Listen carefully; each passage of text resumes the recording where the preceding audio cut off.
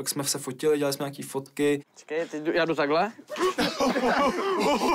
jak to pokrý, tak si to paní A ty se můžeš normálně zapřít, ale tady o to, ne? Jakoby špičkama. Má to klouže, víš, jak se mě vodí. Takže... Nemáš u sebe nic? Nemám, nemám. Ve chvíli, kdy vlastně Marek se zeptal Adama, ho jak držel pod tím, uh, nad tím bazénem, a zeptal se ho, máš něco u sebe?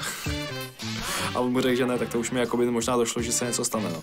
Pojď, pojď, teď pojď mrtě v kuse.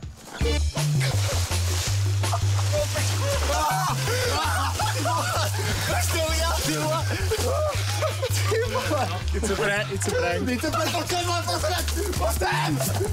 Hodíme ho tam. Já ti pomůžu, Adame, pojď. Já ti pomůžu, neboj. Tamhle ho hodíme. Ne, já mám u sebe věci. Tak to je vyndej.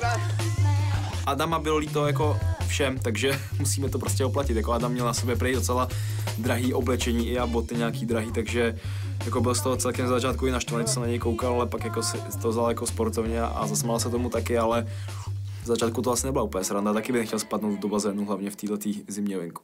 Jo, tak musíme se na ně, tohle ne. Uděláme revenge, neboj. Dáme hlavy dohromady a určitě na něco vymyslíme, protože to bylo hodně zákeřný. Ale natočil jsem ti to, jak se tady honíte do vlogu, když tak, ale... Ty krásu, to je dobrý. Bude dobrá fotka na Instagramu. Jo, tak čekal jsem, jak jsi říká, dáme spolu fotku na Instagram, vyfotíme, jak ležím nad bazénem, že tam je test té důvěry, že jo.